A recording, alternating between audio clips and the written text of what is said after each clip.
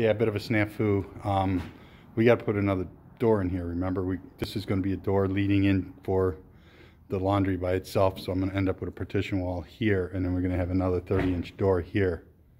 So your feed lines have got to be moved over to here.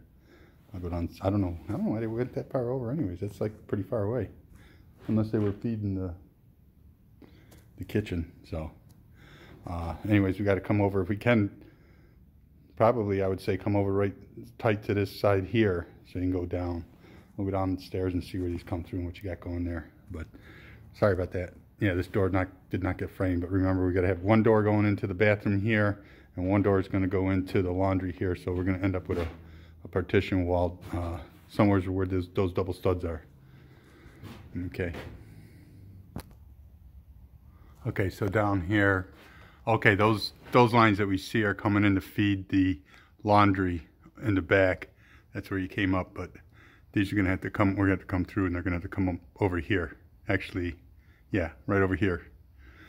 So, so we can make that door up there. Sorry guys. So, not a major thing, but it's a thing. Thanks. Okay, and then let me know if you want, because uh, we're going to end up with our vanity here. So you want this wall, somebody cut the studs out here, cut this wall joist out here.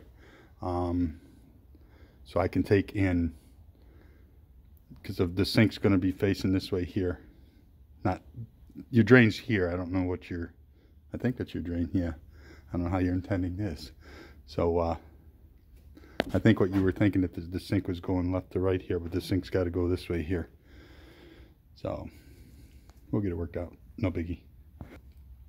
And I'm going to have a guy in here tomorrow getting everything all cleaned up and swept up and organized a little bit. All right. Thanks.